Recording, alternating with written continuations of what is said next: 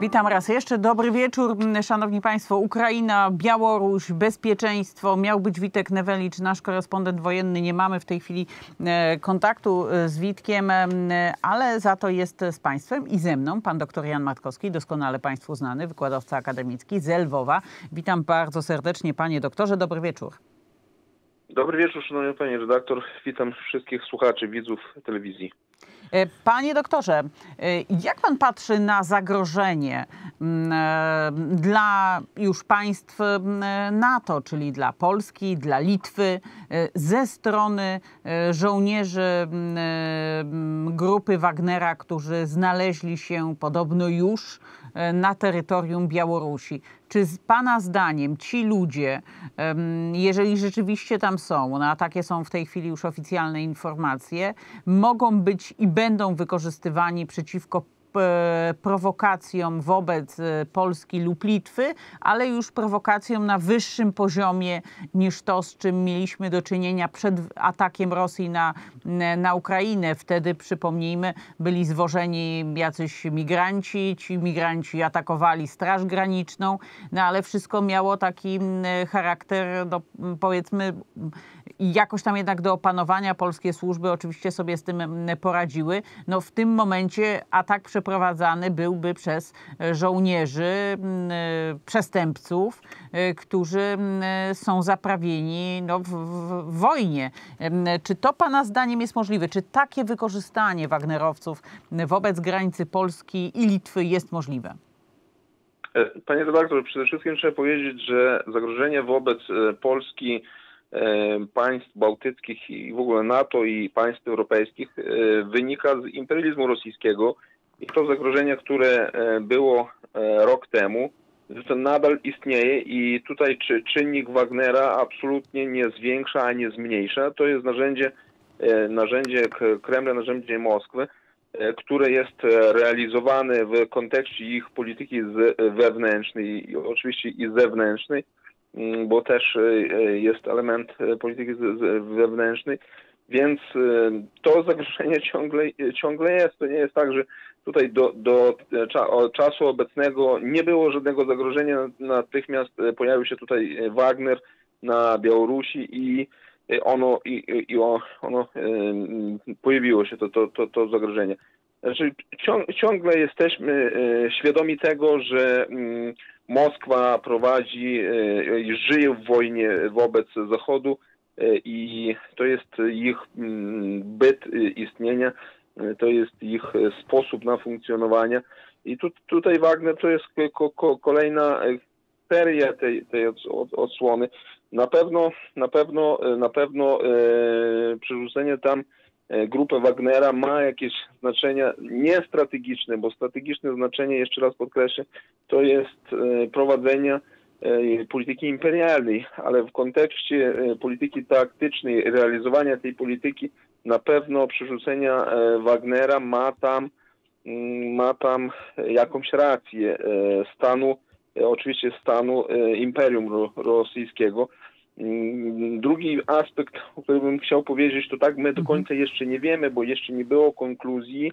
Konkluzji w każdym bądź razie ja nie obserwowałem konkluzji zakończenia tego, tej rebelii e, Wagnera. E, do, do końca jeszcze nie wiadomo, czy jednak, czy jednak zwyciężył e, Putin jako suweren państwa Imperium Rosyjskiego, czy jednak Wagner jako narzędzie, ja uważam, że jednak to było narzędzie E, strony skrzydła radykalnego na Kremlu, skrzydła, które pragnie zaostrzenia walki i z Ukrainą i z państwami zachodnimi, a Wagner czy grupa Wagnera była wykorzystana w tym, żeby po prostu e, stworzyć pretekst do pewnych rozmów i do, do podjęcia pewnych decyzji e, na Kremlu. I tak my do, do, koń, do końca nie mamy, nie mamy jeszcze rozumienia, czy Wagner, czy, czy, czy ta rebelia jednak była przeprowadzona z sukcesem, czy jednak zaznała klęski.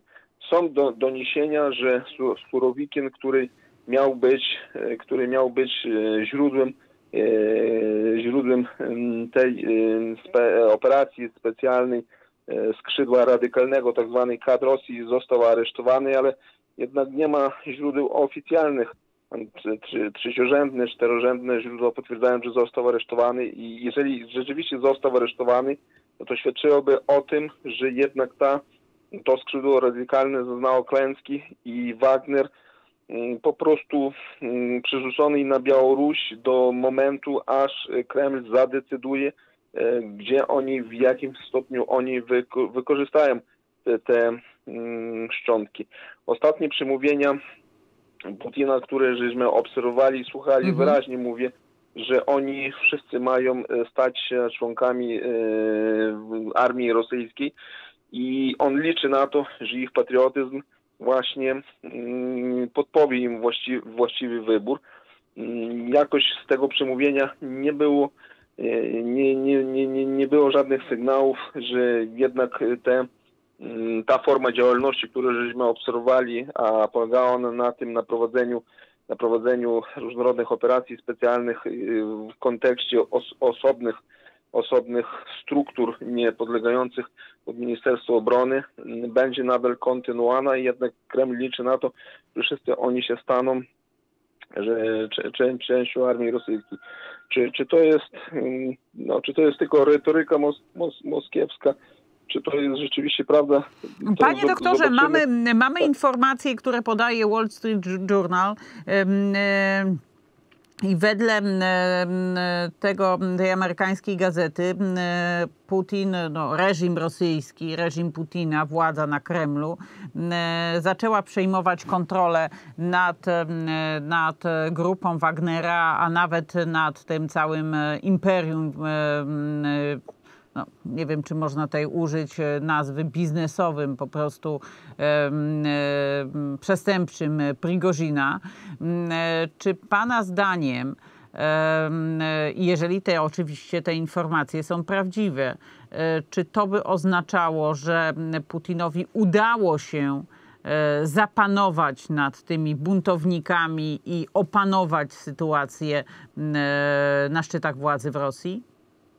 No, na pewno e, sy, e, naj, największym sygnałem to będzie los e, ministra obrony Szojgu. Jeżeli Szojgu pozostanie, znaczy rebelia zaznała klęski, a los Wagnera i Wagnerowców jest przesądzony, czyli wykorzysta ich imperium jako mięso armatowe. Być może nawet na Białorusi w, w kontekście zaostrzenia stosunków z Polską i z Litwą. Być może.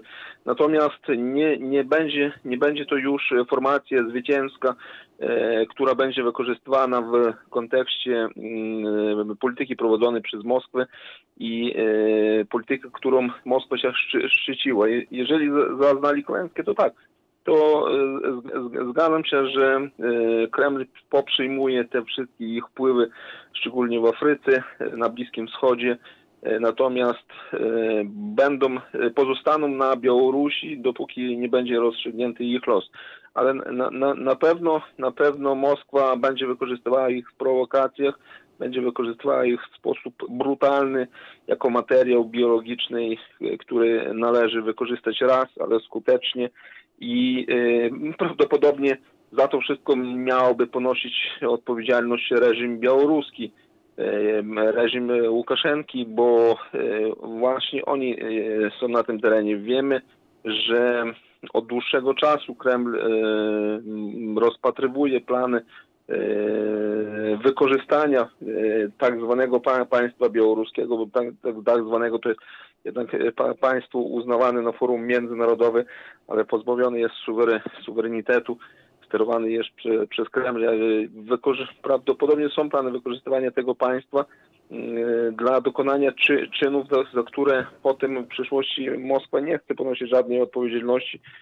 No i, i tutaj dziwnym zbiegiem okoliczności dwóch, dwóch w, w tym państwie znalazło się dwóch takich skazańców. Jednym z nich to jest prezydent Łukaszenko, E, który, który ma bilet w, w jeden koniec i który prawdopodobnie czeka na e, swój czas X, a, a, drugi, a drugi skazaniec, jeżeli rebelia zaznała klęski, to jest właśnie Prigorzin, który też będzie miał bilet w jeden koniec i którego Rosja będzie prawdopodobnie wykorzystywała mm, w różny sposób e, w operacjach specjalnych, żeby nie ponosić na forum międzynarodowym żadnej odpowiedzialności. I tu, tu, tu mówimy w, kontek w kontekście i historycznym i przyszłych układów, bo oni jednak liczą na, na, na jakieś układy. Wszy- wszy- Wszystko może być. W każdym bądź razie obecność Wagnera, podsumowując, e, obecność grupy Wagnera na Białorusi niczego dobrego nie wróży i, i prawdopodobnie e, ta obecność e, jest spowodowana planami tej wojny hybrydowej, która, która prowa, prowadzi się wobec, wobec Ukrainy i państw Zachodu, szczególnie wobec sąsiadów państw bałtyckich i tutaj i, i, i Polski i sąsiadów pozostałych. Bardzo serdecznie dziękuję. Pan dr Jan Matkowski, wykładowca akademicki z Lwowa, specjalnie dla Telewizji Republika. Serdecznie dziękuję panie doktorze. Życzę dobrego wieczoru. Szanowni państwo, m, ta część wieczoru w Telewizji Republika dobiega końca i ja bardzo serdecznie dziękuję państwu e, za ten wspólnie spędzony czas, ale oczywiście wieczór się nie kończy. Proszę z nami pozostać i do zobaczenia.